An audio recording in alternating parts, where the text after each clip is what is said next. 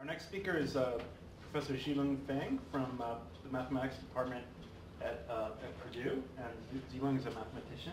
And uh, her talk is going to be on applications of epidemiological models to public health policy.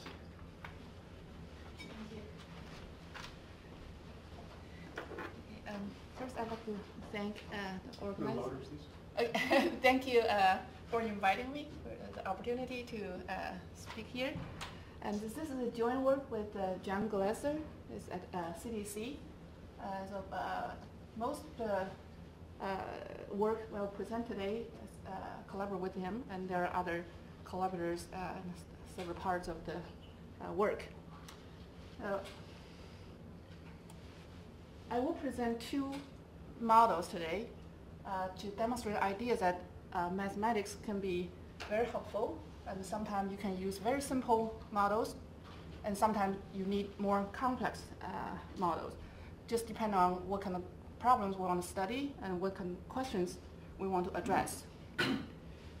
so the first model, very simple model, is used to uh, predict the epidemic peak, the time when the, uh, the peak will be reached, and how uh, given vaccination uh, programs can help reduce the uh, epidemic size.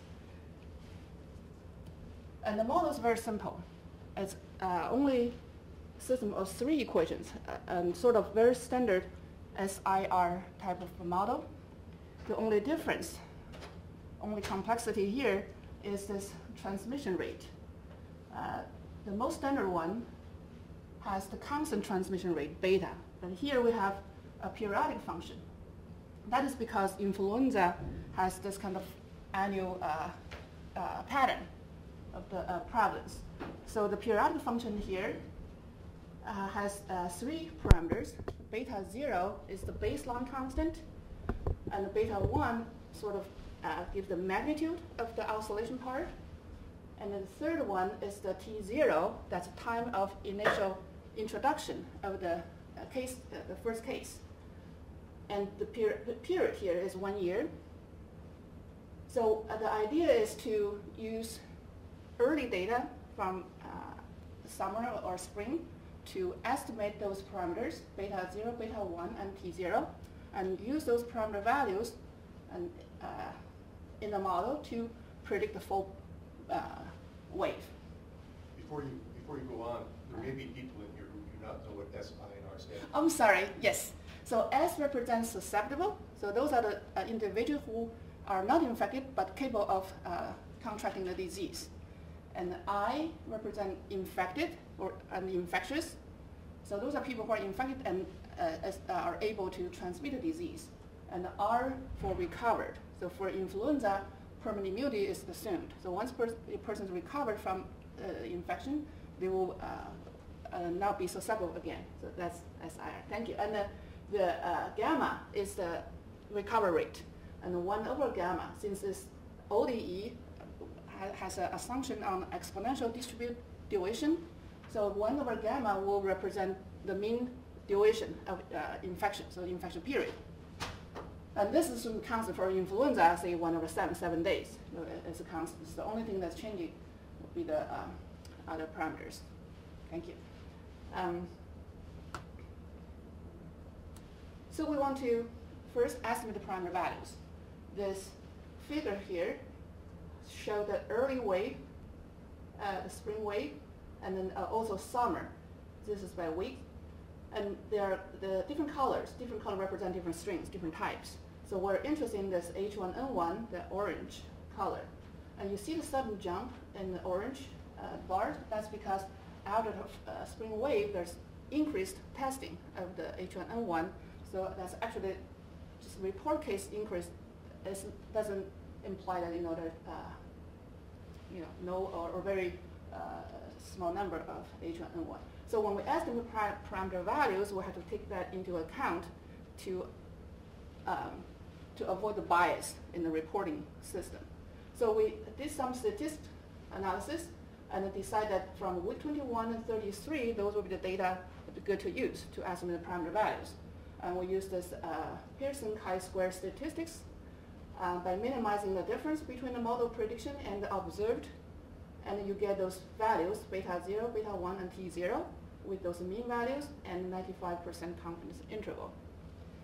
And then we use those values to uh, predict the fall break, fall uh, wave. Given the uh, planned CDC uh, vaccination rollout uh, programs.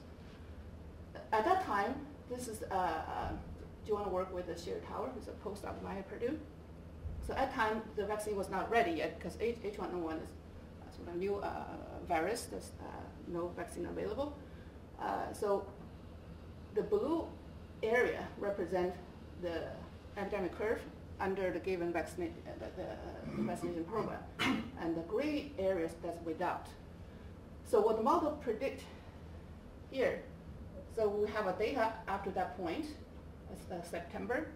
So we predict that the, the fall break, the peak will be reached near Halloween, the end of October, early November. And the effect of uh, vaccination, uh, program, will uh, have a relative reduction of 6% in the total number of infection. So this, we submitted this paper in October 5th, uh, 8th, and it's published on October 15th. So the predictions that at the near end of October, the, peak will be reached. And that of the big concern is when the peak will be reached, right? and because it may uh, get uh, over um, burden of the hospitals or uh, uh, many other concerns, availability of vaccines.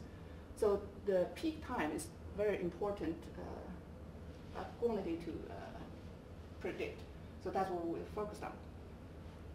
And so we published this, and, and then a few days later, got a lot of uh, media uh, attention. And one of them is from Washington Times. So they actually emphasized on the vaccine was too late because we predict only 6% reduction to the vaccination, H1N1 vaccine too late to help most Americans. And that was the part we got a lot of attention. And even uh, the, the meeting, the Senate meeting on the H1N1 uh, uh, preparedness uh, mentioned this, the study. Uh, this, uh, the Sebelius was asked uh, by Susan Collins thing, and I said the Purdue study mentioned that the peak will be reached next week, and your vaccine is still not available. So how you make a plan on this? So I know she, she was saying from the past experience, usually the, the second wave will not be reached until the following year, because that's what happened in the most uh, Uh, flu uh uh, uh, uh, epidemics. So he said vaccine will still be useful for you know many Americans, and and that was because she gave explanation really good, and so no matter what happens, still the, her you know can explain her um, answers.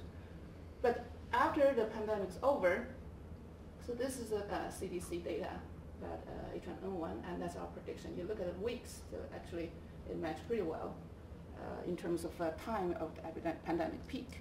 And also looking at the flu, uh, Google flu trend. Looking, looking at the, all the past years from 2004, 5, 6, 7, 8, the most of them uh, did occur in the following year, near February. Uh, only 2004 was a little earlier, but still not as early as 2009. The peak was reached near at end of October.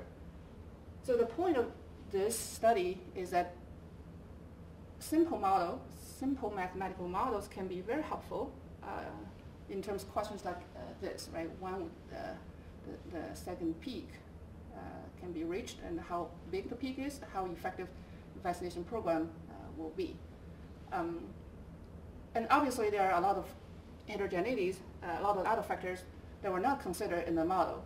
Uh, and there are um, also, uh, you know, for example, different states have different char characteristics, and we didn't consider in the model. But even with that, those simplifications, the model was still kind of very helpful. And we're actually uh, also contacted by CDC um, Nathaniel uh, Hupert. He was trying to give us data. So his idea was like if we have state by state data, if we can predict which state will have the peak, which peak first, maybe they can better plan uh, sort of distribution of uh, vaccines. But then after, and at uh, after at the end of uh, October, the actually the, the, the case, uh, the things are getting uh, much better. It's not as urgent as you know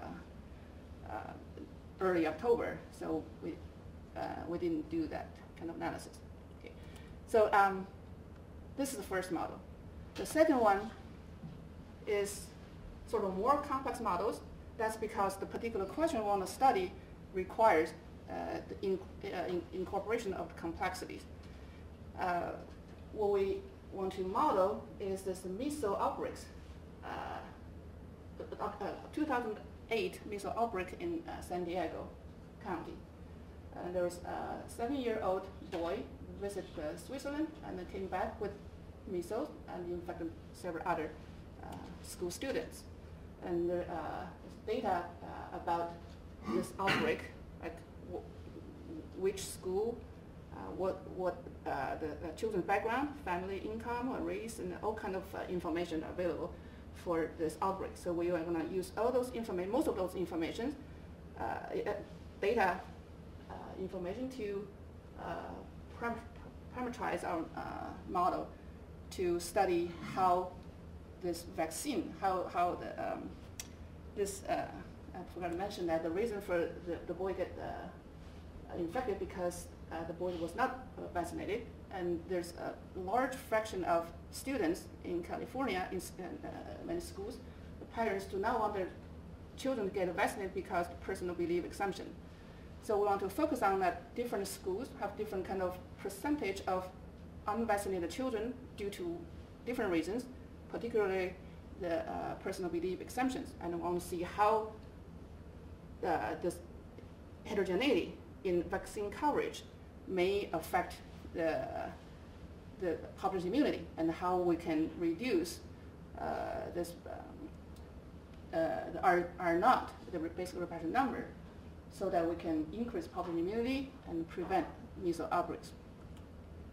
Okay, so this is uh, San Diego County, and, uh, uh, and also uh, the certain school district. The yellow uh, circles represent the, uh, the percentage of students that are vaccinated. And also this shows similar data. What, they represent ones that are not vaccinated? Not vaccinated, no, unco- uh, the coverage, so twenty percent. So some school has as high as twenty percent not vaccinated children. Uh, So um, that, that's for the distribution there. Okay. And also very recent, um, I have this, very, recent, uh, just like in October fourth, they actually reported also that every, uh, at least one in ten toddlers, uh, schools are not vaccinated. It's also about California. Um, so we want to uh, basically study how this heterogeneity, different schools, you, see that the, the, the, our focus is that some schools uh, are larger, uh, like in the, say, middle city, has a much, uh, much highly connected with other schools. So if you have an interaction between school uh, students, and some school may have a higher influence because of connectivity. So we want to see how to choose those highly influential schools to uh, increase coverage and, others. And um, so the, the, the, the measure we use is this R naught. So in epidemiological models, this quantity is very uh, important in terms of determining population immunity and the design uh, strategies of disease uh, control and prevention. And this P here, so in general, you have this kind of idea, vaccination will reduce this uh, uh, susceptibility of population. So you reduce the reproduction number under the uh, control strategy. So you would like to have this P high enough so the reproduction number is below one. So one is threshold. If R naught is bigger than one, disease will spread. If R naught is less than one, disease can uh, be uh, controlled. So we want to focus on that uh, specific uh, quantity, reproduction number. Um, okay, so this is the model. Again, it's SIR type, susceptible, infected, infectious, and recovered. And the lambda I, that's the forcing infection, transmission uh, between, uh, uh, susceptible in the subscript I represent, say, school, school I. Uh, and then the school I can have a contact with the school J, okay, other schools. And there, if there's a contact, then a certain probability the susceptible person can get infected. So that's lambda I here. And the recovery rate assume the same for all uh, students.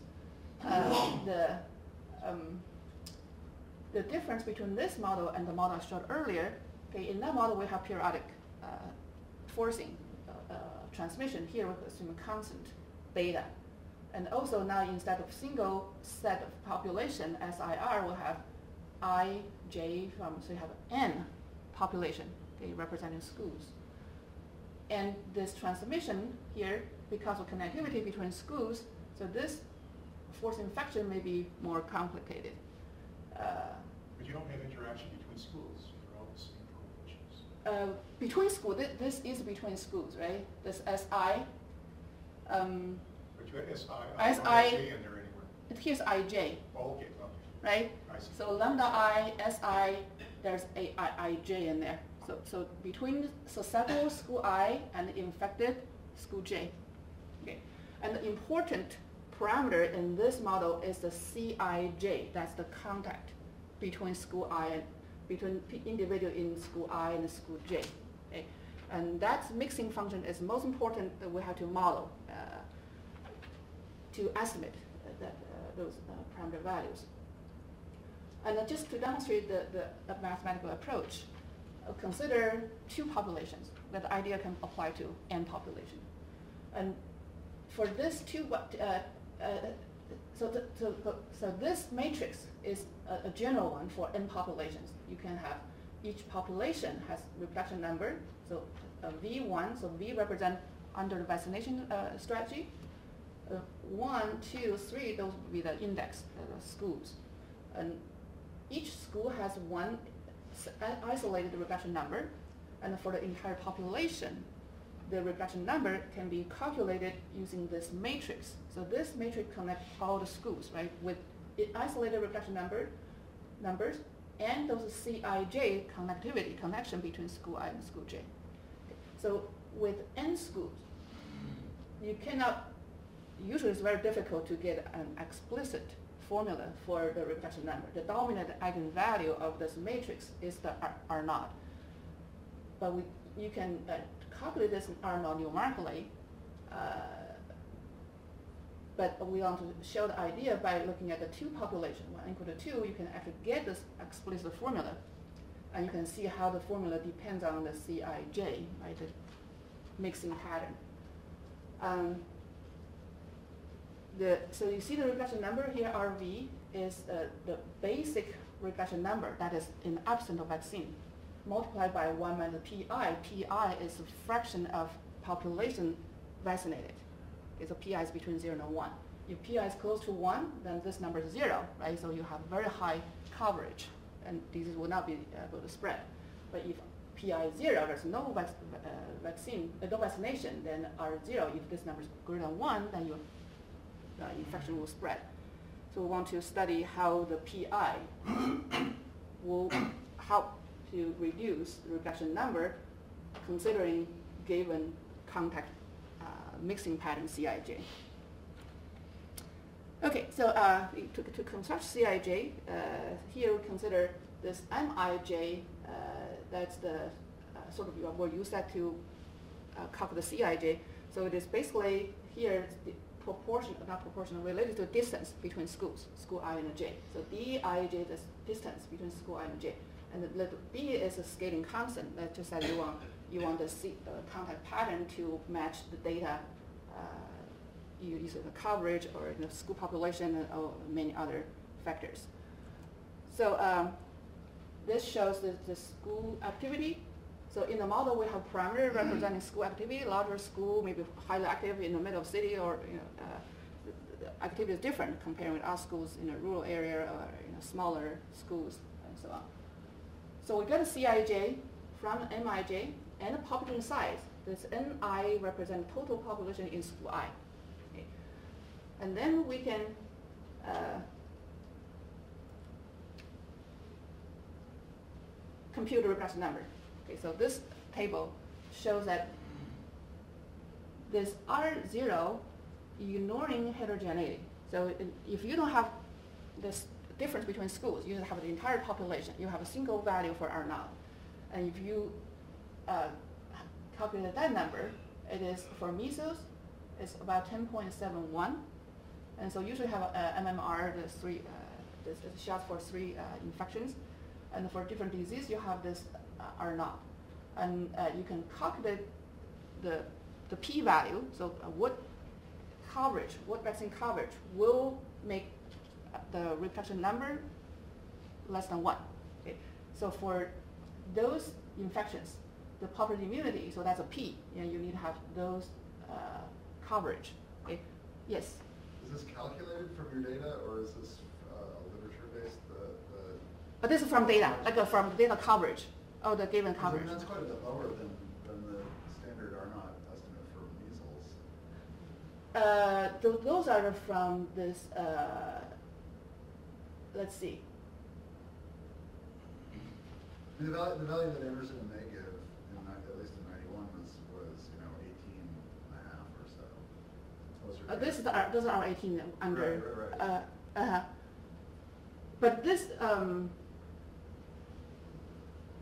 so, but this, this is just, this are now just given, uh, the, the, say, say, uh, infection period, right? And given the, uh, the, um, what is that? Let me try to think, uh, Yeah, beta, uh, the R naught is beta, beta over gamma, right? Uh, if you have just single population. Um, So maybe it's just that the duration of infectiousness is shorter in contemporary US than it was in historical. that might be possible. That's possible, right? Yeah, it's thirty years ago too, right? So- Uh-huh. Okay. It's well within the range of has been estimated in context Yeah. throughout Africa and the, and the Americas, so it's not, it's not, that wouldn't be unusual. It's on the low side. Thank you. Uh, okay, so, so without heterogeneity, you see this actually pretty close to this uh, threshold. Um, and also you can, uh, considering efficacy of, if I need two doses and stuff, so that's what those numbers are. But now, if we consider heterogeneity, we consider that the CIJ and uh, connectivity and all other uh, factors, then the reproduction number is actually 18.06 and, and also other numbers. So it's much, much higher than this number calculated uh, without heterogeneity. And so for this reproduction number, so the population, uh, the threshold is we uh, under uh, um, required, right, immunity in order to control the disease.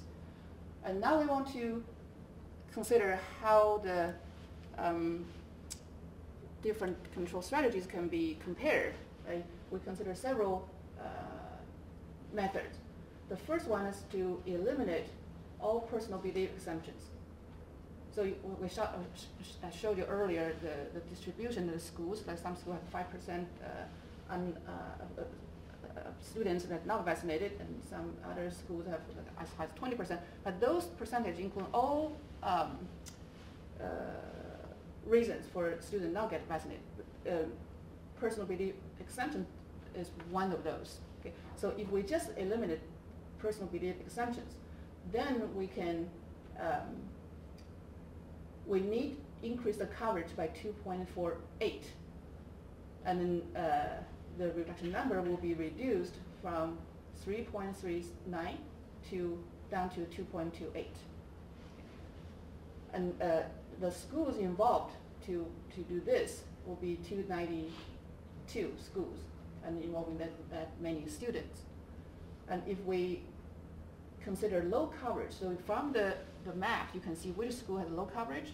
So if we focus on those schools, then we can uh, increase, I need to increase coverage by this, in this range, and that will reduce re- the re- reproduction number by uh, that values in that range.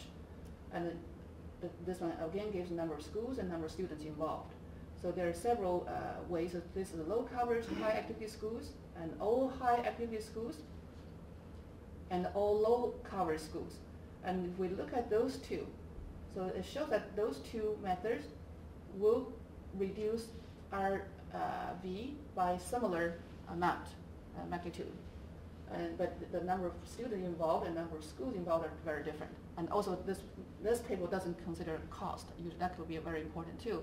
All kind of costs right, uh, involved uh, to apply those uh, uh, programs. And it'll be interesting to consider uh, those as well. But now, uh, if we just consider how many students involved, how many schools involved, and how much reduction R zero will have, and we can say that those two are very similar. Um, so, so this example shows that um, if we uh, want to study the impact of heterogeneity, then you do need this uh, model that, you know, at least you have, if you have a 600 schools, uh, right, uh, that could be the model huge, many, many equations. Uh, but it does help to answer questions, you know, how we can uh, uh, reduce RV by using different programs. Okay? Without heterogeneity, you won't be able to do that. And also, reproduction number, if you don't consider heterogeneity, your reproduction number is way um, low okay, than uh, what uh, could be. So now I want to go back to the mixing matrix, right? That's the key. The- and this study focuses on how we can actually get those parameter values, how we can estimate those parameter values, CIJ, in general, not just for this particular problem. And in, uh, this heterogeneity is in school uh, uh, size and uh, distance and connectivity. But we want to consider also age uh, heterogeneity because if you have a, um, children different ages, they can, usually children tend to have more contact with other children the same age or similar age groups. So the mixing is not random, it's not proportional to, to the number of students. So uh, we want to get this age-dependent mixing, the mixing pattern. And there are some studies about uh, age-dependent um, sort of uh, pattern or context, uh, how many, uh, so you, you, there are studies conducted, so how many minutes you spend each, uh, every day, you know, with different age groups and things like that. So we have those data, and this just show you one of them, Mossong data. It shows that this is age groups, okay, 0 to 4, 10 to 14, and so on. You see the main diagonal, uh, lighter color represent more contact, and the darker color le- uh, fewer. So the, this main diagonal shows that children in the same age, or not just children, not all, everyone, okay, older and, and, and young. So you have same, so same age people tend to have more contact, right? So you still have a fixed number of contacts a day, you spend most of your contact to, with, with uh, people uh, same age or similar age uh, groups. And that's the main diagonal, and that has been studied by um, several other people earlier. But from this study, we also see the off diagonal. So that represents parent and children contacts. And uh, so that has not been studied. So we want to develop a modeling framework that can be used to actually capture this both main diagonal and off diagonal preference.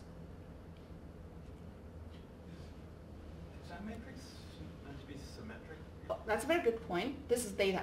It's, so it's not symmetric because the data, you know, it's not perfect, right? So when you, you tell people age five uh, or you know, how many, right, what percent of time they were uh, age 20 and you got 20, that's that's sort of different. Okay. Yeah, Thank you for mentioning that. But when we construct a mathematical uh, uh, model, we have to make sure it's symmetric. Right? How, how many content you know you spread with other people has to be you know uh, match. You don't have uh, grandparents and children. Very good. So we did later. Oh. But uh, this uh, from this data doesn't show very clearly, right? But uh, actually, if you do this statistical analysis, you do see the grandparents and children uh, preference, right?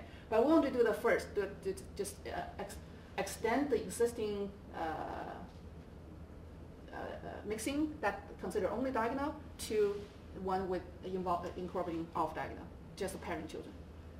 Um, okay, so this is the um, sort of um, conditions that any given mixing function will have to satisfy, including the one you mentioned.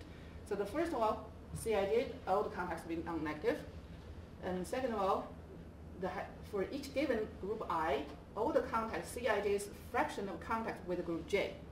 So given group I, your, the total number of contacts sum up over J has to be one, right, because of fraction. And third, this is the symmetric condition you mentioned. So how many contacts uh, from group I with group J total has to match the total number of contacts from J with I. Okay. So those three basic conditions will have to be satisfied. And one of the uh, typical, uh, most uh, commonly used mixing is the so-called proportional mixing. So it's assume, uh, assumes that basically my conservation group I, I my probability that my contacts with group J is proportional to the number of people in group J, uh, uh, from J to I, the total number of people in group I and activity level of group I. So the bottom, the numerator is the sum of all contacts. Okay, so proportional uh, to the number of contacts in, in a given group. So that obviously will not capture the off-diagonal uh, um, phenomenon, not even main diagonal uh, phenomenon, because this main diagonal you need to have a preference.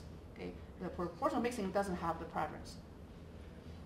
To incorporate this uh, main diagonal uh, preference, uh, so this is a study by uh, uh, and, and collaborators. like to point out that I'm L.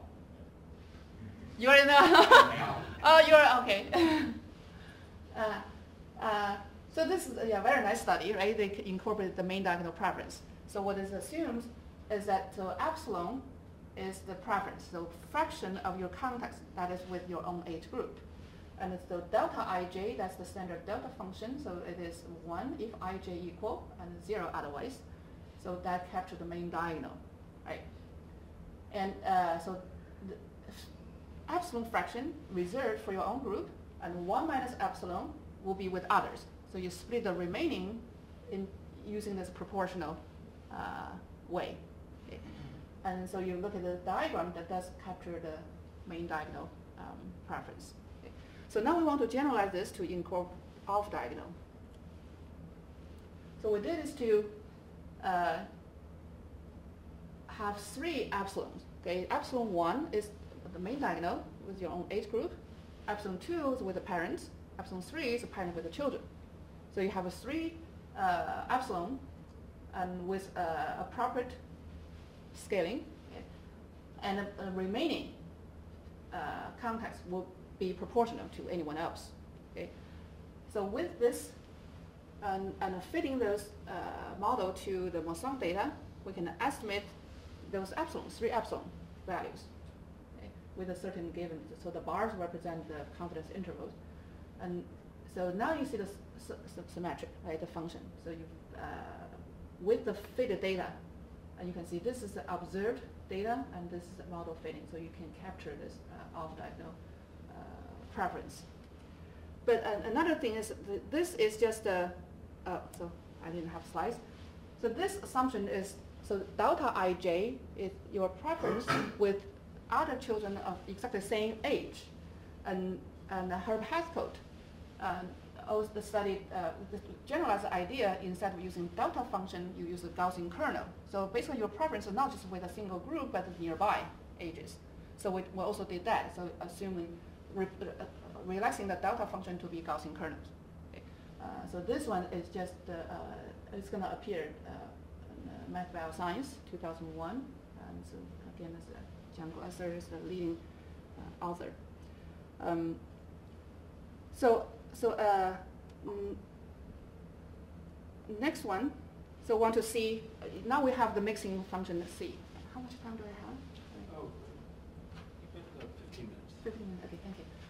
So we have the CIJ, so we want to put this back in the model, we want to study the vaccination uh, strategy, right? How you can reduce reproduction number by applying different uh, policies. But first we want to see how this preference, the epsilon values, may affect the effectiveness of the PI. The PI will be the vaccination coverage in population I.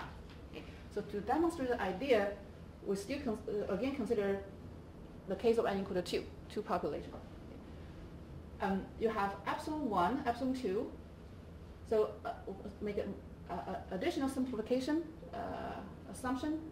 Say epsilon 1, epsilon 2 are the same. So the two age groups have uh, exactly the same preference. And just to see how this preference may affect uh, the vaccination, uh, the effectiveness of uh, the P's. Um, so uh, let me show the next one. This is more mathematical. You have to ana- uh, analyze how those things are related. But the, the biological uh, interpretation, so once you have this mathematical work figured out, and you can try to study how those mathematical results uh, uh, uh, translate to biological uh, interpretation.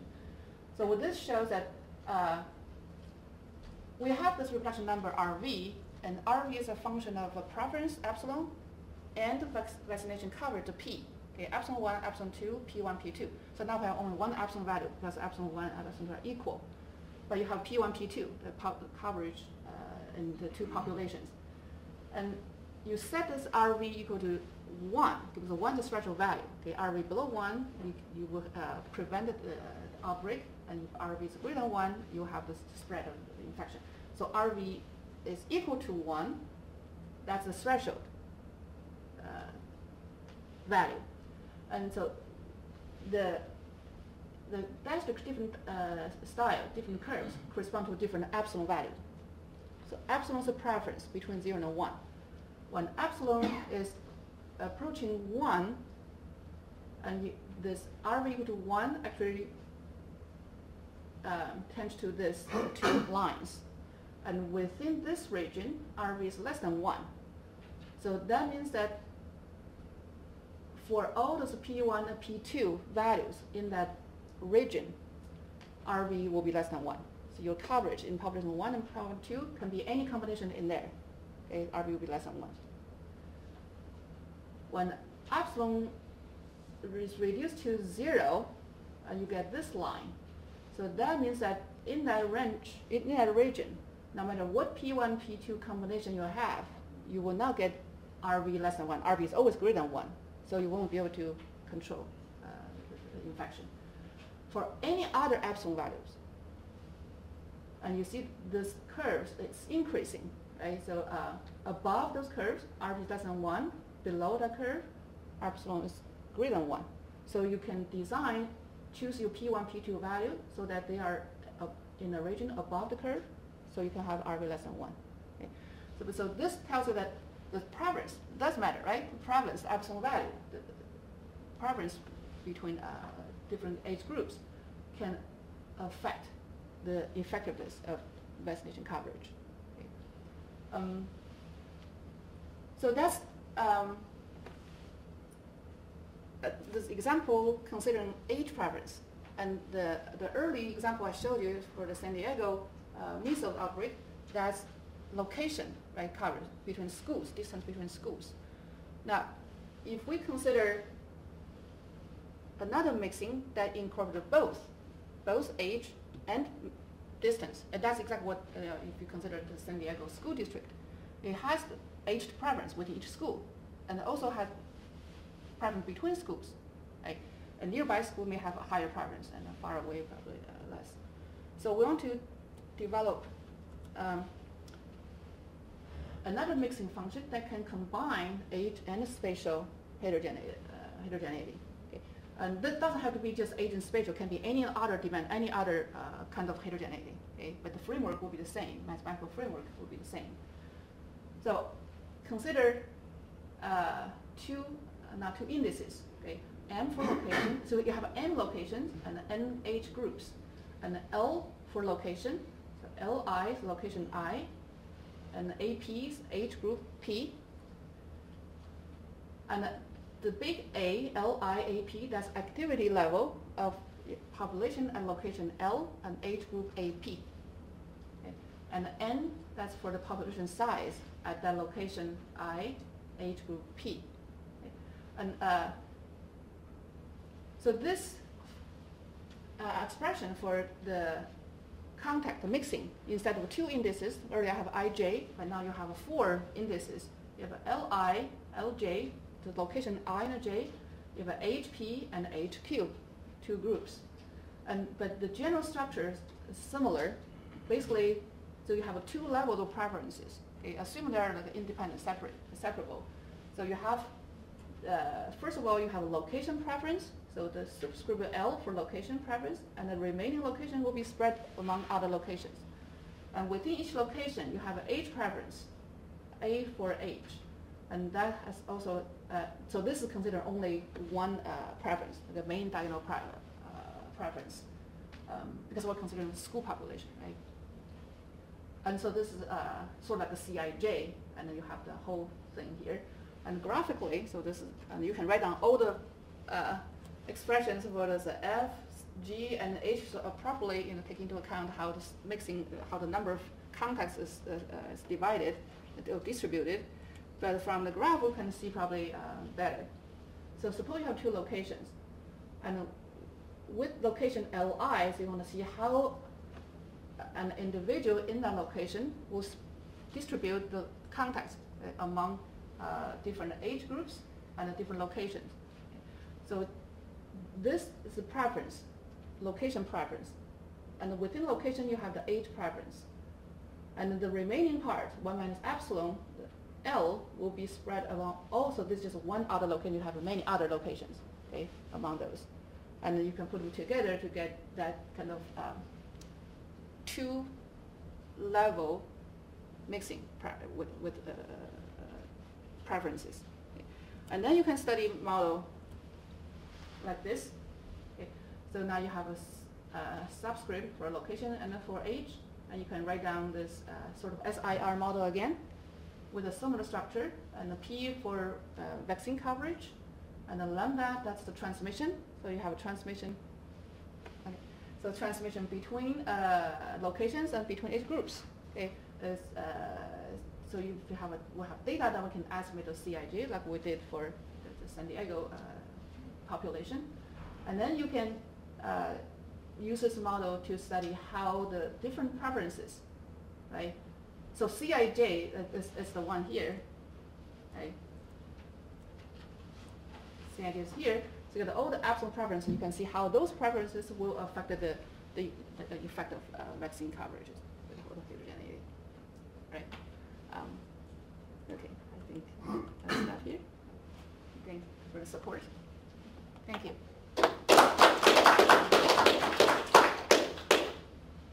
Yes. Tony, a question about your first model, the Uh-huh. simple one. Uh-huh. Uh, So in, in that part, you showed how effective it is in predicting uh, sort of the, the peak of uh, H1N1. Right. And then you move to more complex models for more complex Right. uh, phenomena. Mhm. But in that first model, you got a lot of press, some of it pretty scary. Uh, my question is, because influenza is, you know, uh, sort of, the transmission is age, age-related, there's, why not, in- and, and in fact, we have to do computer simulations to solve it anyway, Mhm. why not use a more complex model to get finer tuned information in that first Yeah, one? because of time, right? It was like a really short time. Ah, so we, we, we, But it would seem natural. It will, definitely, you know, definitely, definitely. Because the, everyone was talking about, you know, when will the second peak will be reached, right? And then uh, how, how, how, how large it will be. And that was already end of September. So we, we actually submitted October 8th. So that's like a couple weeks uh, thing. You had, you had used the, the spring and, uh, and summer data, right? You had, you had to constantly update your data because as more data available, and then you're gonna uh, adjust those things. And then at the time, it's we, you know, we, we think we, we're, we can submit it. So, so we didn't go uh, with a more complex. Uh, But it would have been, right, you would have finer tuned, had you had the time, you would have would have to- right. finer tuned. definitely, definitely. I, I'm, sure it'll get probably um, better. I, I'm not. Uh, no, I'm not. Sometimes more complex can be better, but also can be misleading. That you, you have a lot of parameters you, you estimated, and you probably will not be able to capture what is the key, uh, which one more, right, played the main role each complex or simple model, they both have advantages and disadvantages. Um, and it's, um, yeah. thank you.